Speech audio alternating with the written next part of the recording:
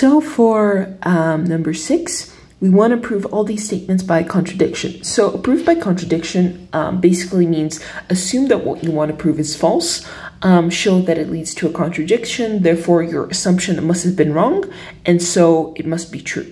So um, we're going to let A, B belong to the set of positive integers. Okay. And for A, we're going to begin assuming that what we want to prove is false. Now, most of these are conditional statements of the form if P implies Q. Now, the only way for a conditional statement to be false is if the um, antecedent is true, so if we have P and the consequent is false, and not Q. So that's what we have to do. Well, If we're doing by contradiction, we have to assume P and not Q. So we're going to say assume assume P, assume A divides B, and assume not Q. So the opposite of A less than or equal to B, and A is greater than B. So if A divides B, then there exists a C belonging to the set of integers such that um, B is equal to AC, right?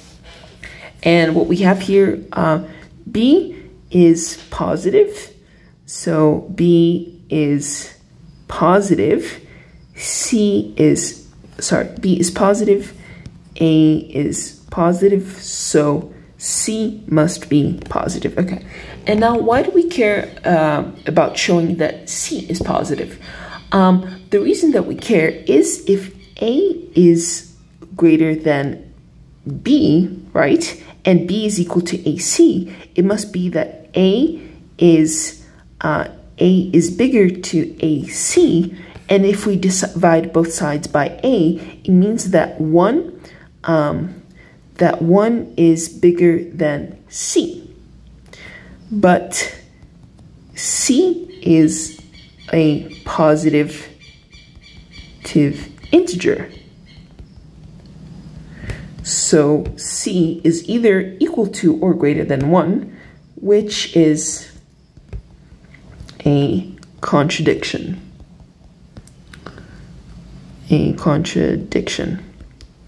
So we've shown that a contradiction has happened, and we say, therefore, for if A divides B, then A is less than or equal to B.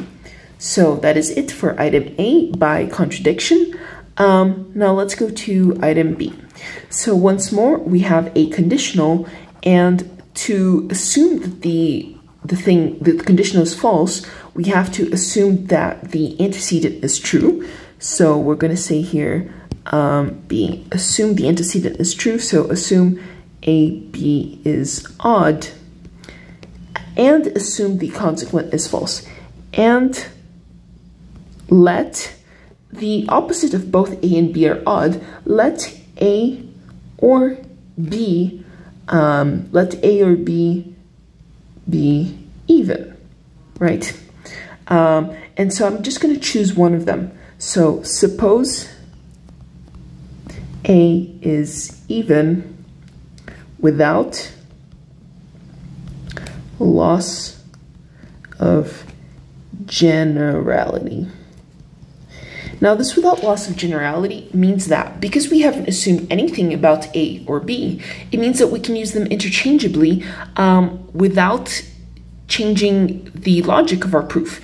Because um, the same, if I say that A is even, the same logic works for B being even. So I can just use without loss of generality and kind of use them interchangeably. So I have, suppose A is even. Then there exists a C belonging to the set of integers such that A is equal to 2C. So AB is going to be equal to 2C times B, which is equal to 2 times CB. And CB is an integer. So, um, so AB is even. So now we have AB is odd and AB is even, which is a contradiction. Which is a contradiction, right? And so our conclusion, therefore, therefore, if AB is odd, then A and B are both odd. And that is it for item B. Okay, let's do item C. And once more, we assume that the uh, antecedent is true and the consequent is false. So for this one, C, assume the antecedent is true, assume A is odd, and the consequent is false. So and A plus 1 is odd. Then there exist integers CD, so CD belonging to the set of integers, such that A is equal to, um, A is equal to 2C plus 1, and, and A plus 1 is going to be equal to 2D plus 1. Okay, so then I have that A plus 1 is going to be equal to 2c plus 1 plus 1, which is equal to 2c plus 2. So we have here that a plus 1 is equal to um, 2c plus, actually, and let me factor this. So a plus 1 is going to be equal to, we're just going to factor out that 2, 2 times c plus 1. And so we have here that c plus 1 belongs to the set of integers. So, belongs to the set of integers. So, um, a plus 1 must be even. And we have here that a plus 1 is odd and a plus 1 is even, which is contradiction. Um,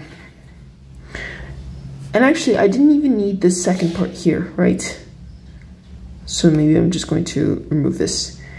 Uh, a plus 1 is odd and a plus 1 is even, which is a contradiction. Therefore, so therefore, our, our hypothesis must have been false. Therefore, if a is odd, then a plus 1 is even. And that is it for item C. Um, let's do item D.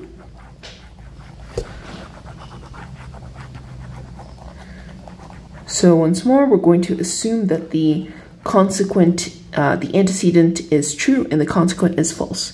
So D, assume, assume A minus B is odd and a plus b is even. So um, in this case, we are going to say, okay, then there exists integer c, d, such that uh, a minus b is going to be equal to 2c plus 1, and a plus b is going to be equal to um, 2D. Okay, so now what I'm going to do is I'm going to add these. So A minus B plus A plus B is going to be um, equal to, let's see, it's going to be equal to 2C plus 1 plus 2D, right? And so if this is the case, on the left-hand side, we're going to have 2a is equal to, um, that's going to be 2c plus 2d plus 1. Um, and so what we're going to do is we're going to factor this. So I have that 2a is going to be equal to 2 times c plus d plus 1. So c plus d belongs to the set of integers, so 2 uh, 2c plus d plus 1 is odd. Um, and so what we have here is that the left-hand side is even and right-hand side is odd, which is a contradiction. Therefore, therefore, um, if a minus b is odd, then a plus b is odd. So that is it. Uh, we have shown that it leads to a contradiction um, by the left-hand side being even and the right-hand side being odd. And let's go to the last one.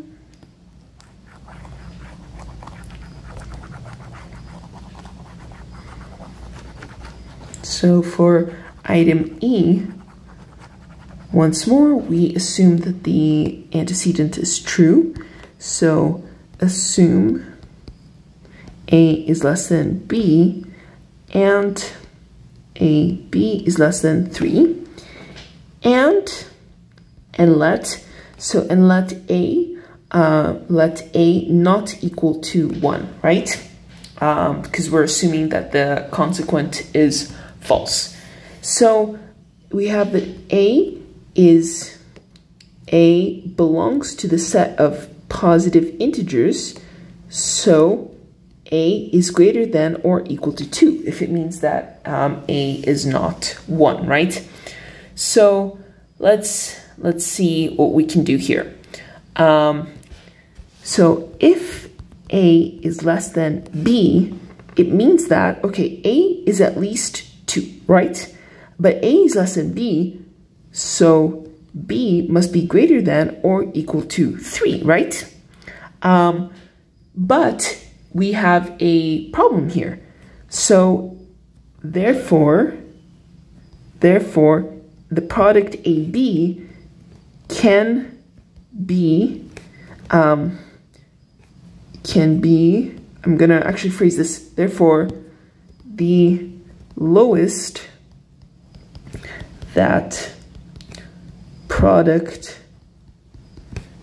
AB can B is uh, the lowest, the lower boundary for A is 2, and the lower boundary of B is 3, so is equal to 6, right? But a B is less than 3, which is, is a contradiction.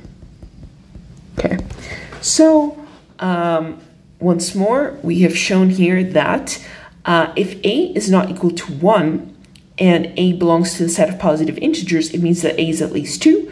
And if a is less than b, it means that b is at least 3. So a b is at least 6, right?